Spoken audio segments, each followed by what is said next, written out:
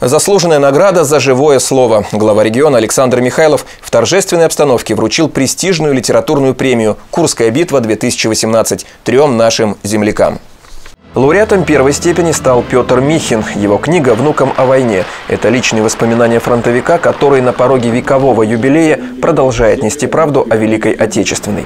Второе место у Михаила Яськова. За самобытный и душевный рассказ жил-был Герасим Лукич.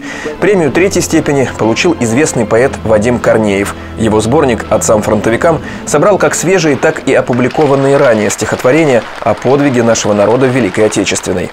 Позвольте мне от имени сегодняшних ветеранов патриотической премии Курской битвы выразить огромную благодарность губернатору Курской области Александру Николаевичу Михайлову за учреждение этой патриотической премии.